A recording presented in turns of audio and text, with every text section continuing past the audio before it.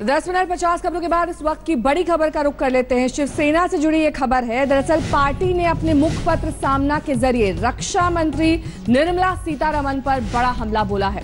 शिवसेना ने उन्हें सबसे कमज़ोर और निष्क्रिय रक्षा मंत्री बताया है। सामने में पार्टी ने कहा है कि हिंदुस्तान की सैन्य क्षमता पर उन्हें पूरा भरोसा है, लेकिन नेतृत्व कमज़ोर है।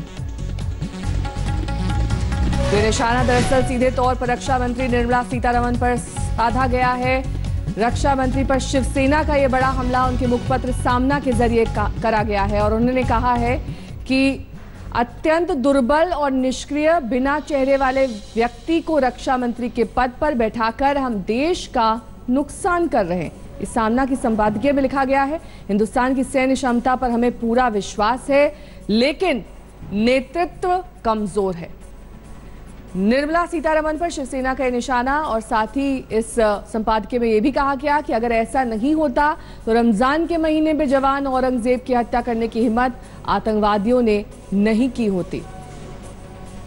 हिंदुस्तान की सैन्य क्षमता का नेतृत्व, यानी कि रक्षा मंत्री निर्मला सीतारमन पर सीधे तौर पर शिवसेना का निशाना मुखपत्र सामना के ज़रिए उन्होंने निर्मला सीतारमन को एक कमज़ोर नेतृत्व बताया है। मनीषा कायंदे इस वक्त शिवसेना की नेता हमारे साथ जुड़ गई मनीषा जी, किस आधार पर इस तरह के आरोप आपने निर्मला सीतारमन पर लगाए हैं, जबकि उनके ही नेतृत्व में कई कड़े और बड़े फैसले भी लिए गए हैं?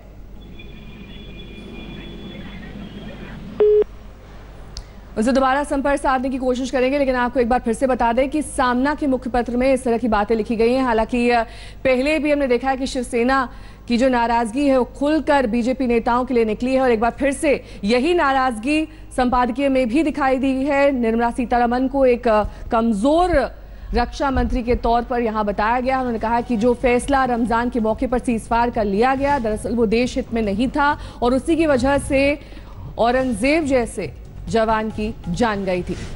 शिवसेना ने कहा कि दुर्बल, निष्क्रिय शख्स को रक्षा मंत्री बनाना काफ़ी नुकसानदायक है देश के, हालाँकि उन्होंने भारत की जो सैन्य क्षमता है, उस पर सवाल नहीं उठाए।